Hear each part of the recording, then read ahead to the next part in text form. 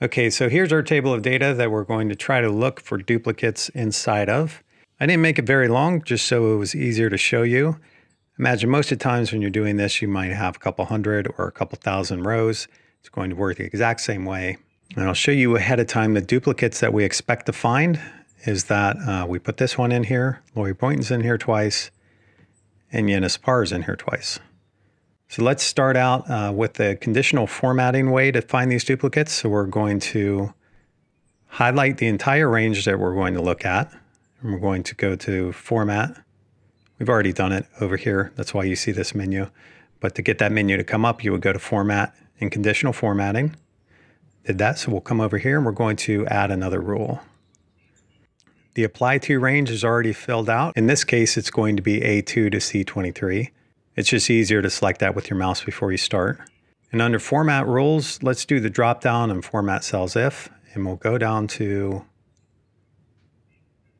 custom formula is.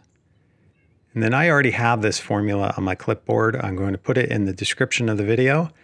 And you can also copy this entire worksheet if you want to visit the website that I linked up there. Uh, but you can just use these formulas. So let's paste this and then we'll talk about what's happening here. So this formula is going to vary based on your data. The inside of the formula is repeated for each column. So that function is going to get shorter or longer depending on how many columns your table has. But it's going to be the same basic thing. And what it's doing, let's come over to the left. So conditional formatting works from the top down and from the left to the right. So that formula that we put in, the custom formula is box evaluates A2 first. So keep in mind, it's written as if it's only looking in A2. And then when it moves down and to the right, it's going to increment the same way it would if you auto-filled it inside the spreadsheet. So in other words, in everywhere that A2 is in that formula and it's not fixed with a dollar sign, it's going to become B2 here and it's going to become A3 here. It's very important where those dollar signs are because when you put a dollar sign in a formula, it fixes the formula so when you move it around, the part that has a dollar sign doesn't move. If you want to see more information on how to fix formulas, I would check out the video that I've linked in the upper right hand corner before you go any further. Check that out and come back if you want to have full understanding. Or just copy and paste the formula. That's fine too. You don't have to understand how your car works to drive it, right? So if we look at the table that we highlighted, the formula is working by highlighting any instance that is repeated below it. So it's highlighting the first occurrence of Lori. And by the time it gets to the second one, it doesn't see Lori again below it. So it doesn't highlight that one. And if that's all you need to do, then you're done, right? But there's always different situations, and you may need a situation where you want to use a function to do the highlighting. You don't want to use conditional formatting for whatever reason. So let's go over to the right. So let's say we're done on the conditional formatting.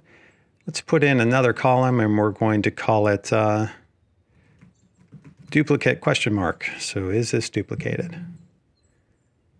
Let's grab this formatting so it looks like a header.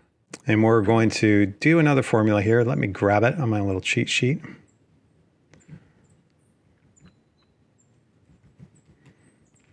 So the formula that we're going to use here is we're going to say, saying, hey, if when you count this, if you see this same value more than once, write duplicate or leave it blank. Type enter and Lyndon Skipper isn't duplicated. We'll drag this formula down. So I just went into that blue rectangle and I hovered over the lower right hand portion of it where it's a square. I'm holding down the left mouse key now and I'm dragging down. Then I'll let go of the left mouse key. It's going to autofill that formula all the way down. And this identified the duplicates. So this behaved a little bit differently than the conditional formatting. It identified the value after it's duplicated instead of before. I don't know which way is better, right? Depends on what you're doing, but these are doing the same thing, but they're doing a little bit differently. So if you want to see how to remove these duplicates, you don't even have to check for them first. You don't have to identify them. You can use the function just to remove them. It's called unique, and that video is coming up next. Thanks.